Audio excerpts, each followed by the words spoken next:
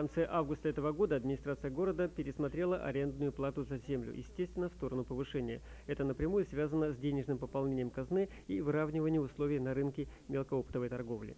Изменения действительно сказать, в 12 раз увеличение по коэффициенту сферы деятельности. В соответствии с этим и э, стоимость аренды земли для мини-рынков поднялась в 12 раз. На это можно смотреть э, двояко, можно говорить, что это,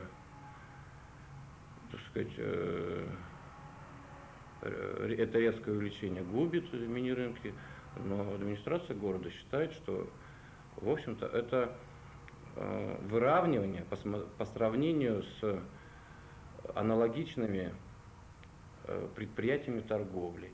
Если раньше мини-рынки за аренду в месяц платили полторы тысячи рублей, то с 1 января эта цифра вырастет до 20 тысяч рублей в месяц.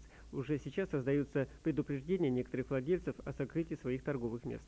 Это все просчитав, мы пришли к огромному, я не знаю, ну не удивлению, в общем-то, это подтвердило наши догадки, что владельцы мини-рынков получают существенную прибыль.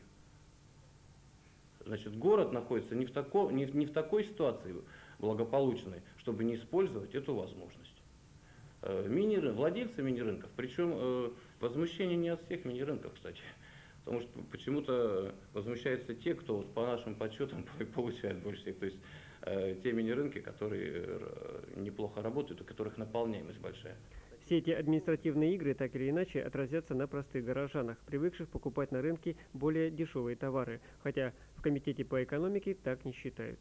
Если считать, что э, городскую казну э, приходят деньги и распределяются между чиновниками администрации, то ваша версия права. А если считать так, что на эти деньги будет покупаться мазут или газ, который уже отключали в городе, то я с вами не согласен. Это дополнительные доходы. Это точка зрения администрации. У рынков она немного иная. Впрочем, в начале года, видимо, будет продолжение этой темы.